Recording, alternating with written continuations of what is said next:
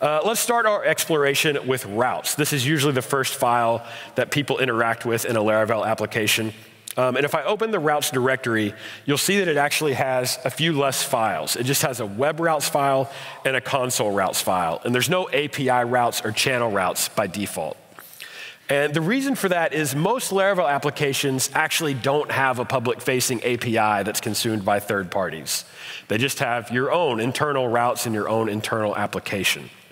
So there's no need for us to have this extra API routes file by default. But what if my application does have an API routes file? How can I install it and get back to where I want to be quickly? And we can do that through some new artisan commands. So I'm going to pop open a terminal and I'm going to run php artisan install API. And this command will add the API routes file. It will install Laravel Sanctum, and I'll be ready to go developing my API with authentication, token-based authentication using Laravel Sanctum. Using that one command, everything is ready to go. It's just that simple.